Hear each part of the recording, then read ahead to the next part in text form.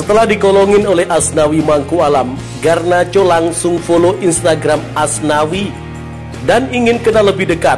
Fans jalan-jalan ke kampung halaman Asnawi Mangku Alam di Makassar.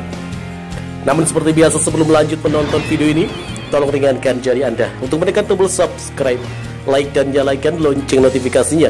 Dan kalau sudah kami ucapkan banyak terima kasih dan mari kita lanjut Pemain timnas Argentina yang kini sedang berumput di Manchester United, Alejandro Garnacho langsung menfollow akun Instagram pemain timnas Indonesia Asnawi Mangku Alam usai laga di Stadion Utama Gelora Bung Karno Jakarta pada Senin malam 16 Juni 2023.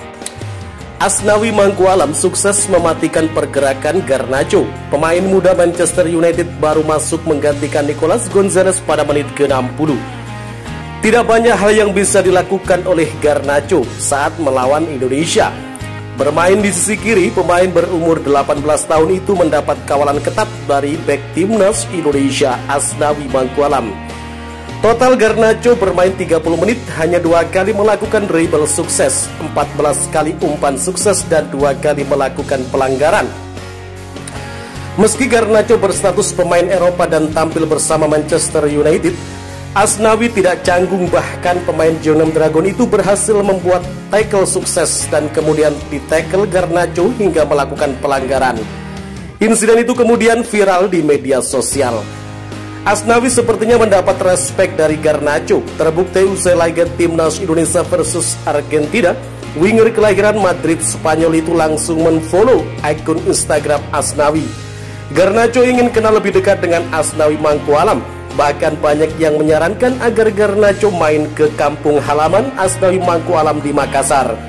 Ayo Bang Garnacho main di Pantai Losari Makassar, indah bang tempatnya. Bunyi pernyataan netizen. Sambil main bola sama Bang Asnawi ntar makan coto Makassar, ucap netizen lainnya. Bisa sering santai, timpal netizen lainnya kepada pemain Manchester United tersebut. Permainan apik Asnawi Mangku Alam juga mendapat pujian dari pelatih timnas Indonesia Sintayong usai melawan Argentina. Jadi bukan hanya Asnawi Mangku Alam saja yang bagus di laga kali ini, tapi karena adanya performa baik dari teman-teman Asnawi, maka dari itu Asnawi juga lebih kelihatan menonjol. Jadi para pemain bekerja keras sampai akhir dan maksimal, jadi layak dipuji, ucap Sintayong. Sementara itu bagi Garnacho ini adalah penampilan keduanya bersama timnas Argentina setelah melawan Australia. Artinya Garnacho tinggal butuh satu pertandingan resmi berstatus uji coba untuk 100% membela timnas Argentina dan tidak bisa pindah ke federasi sepak bola negara lain.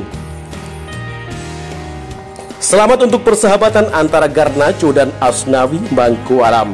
Bagaimana menurut kalian? Jika suka dengan video ini, nantikan video kami selanjutnya dan salam olahraga.